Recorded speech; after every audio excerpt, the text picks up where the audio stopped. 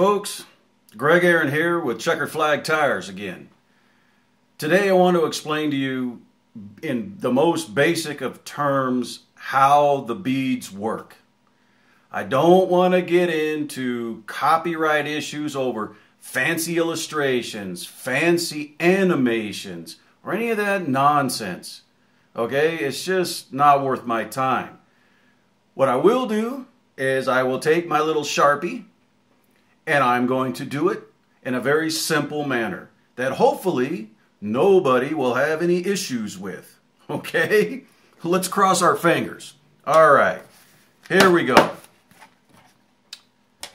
Sharpie, paper. When the beads, when the, I should say, when the vehicle is at a standstill, the beads just sit at the bottom of the tire.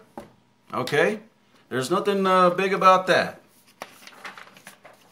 When we start to move and we're under 30 miles an hour, and that's uh, kind of a rule of thumb, a generality. Sometimes the beads start to work a little sooner, sometimes they start to work a little, you know, later than 30 mile an hour. It depends on the car, the tire, the balance situation, the whole thing. But anyway, under 30 mile an hour, the beads are going to spread around the tire nice and evenly. Okay? You're not going to hear this, you're not going to feel this. You don't have to worry about that. I get a lot of questions all the time about, hey, am I going to hear these beads? And the answer, no, you're not going to hear them. All right. Now, over 30 mile an hour, we have the heavy spot in the tire.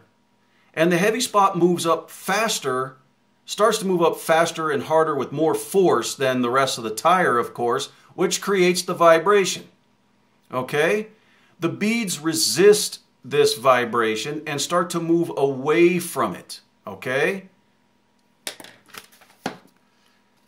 What you end up with is this. The beads have moved to a point opposite the heavy spot. No vibration. That's it. And when the vehicle comes to a stop, the beads fall wherever they are and the process starts all over again every time you leave a stop sign or a stoplight. Okay, not a big deal.